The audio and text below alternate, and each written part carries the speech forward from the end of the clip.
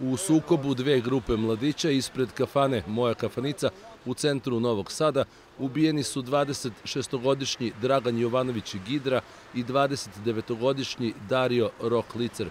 Njih su metalnim palicama i pajserima na smrt pretukli za sada nepoznati napadači koji su pobegli sa lica mesta. Ubijeni muškarci imali su kriminalni dosije. Protiv Jovanovića je u poslednjih 8 godina policija podnela 40 krivičnih prijava zbog trgovine drogom, seksualnih delikata, napada na policiju, oružja, krađa, izazivanja opšte opasnosti, nanošenja teških telesnih povreda, ugrožavanja sigurnosti, držanja u zatočeništvu, nasilničkog ponašanja na sportskim manifestacijama. Pet puta je osuđen, dva puta na zatvorsku kaznu, dva puta uslovno i jednom novčano.